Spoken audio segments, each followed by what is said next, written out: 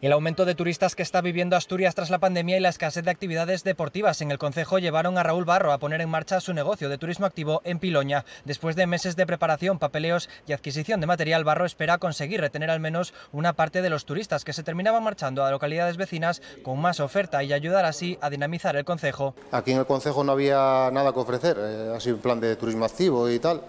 Todo se iba para, para Riondas y Cangas de y entonces pues bueno nos animamos a, montar esto. Es para oye pues para pasar un momento y, como bien te digo para que la gente que tiene aquí alojamiento aquí en el concejo de Piloña pues para que no se vaya a otros concejos. Tenemos mucho potencial y sin explotar lógicamente entonces bueno vamos a intentar aprovecharlo al máximo aunque comenzó siendo una idea para bajar en canoa al río Piloña distintas restricciones y dificultades le llevaron a evolucionar su negocio e incluir más alternativas. Hay alguna restricción para bajar el río entonces nos decantamos también por el tema de los bus eh, en la cual pues, ya tenemos varias rutas marcadas, eh, pues para varios niveles, para gente que, bueno, que depende, depende de la demanda que haya, pues rutas más fáciles o, más difíciles. Tenemos aquí la ruta de la Piridieya, que es una ruta muy tranquila, muy, muy llana, que puede hacer cualquiera.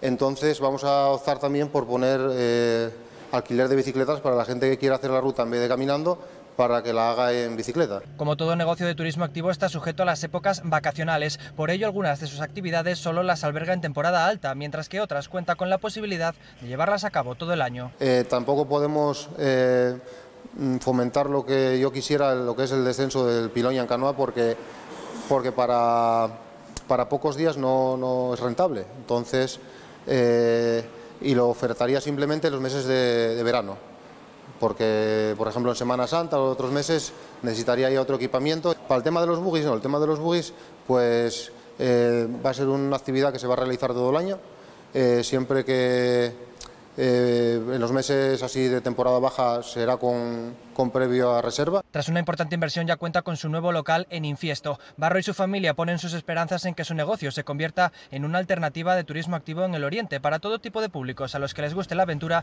y quieran disfrutar de un concejo que tiene mucho que ofrecer.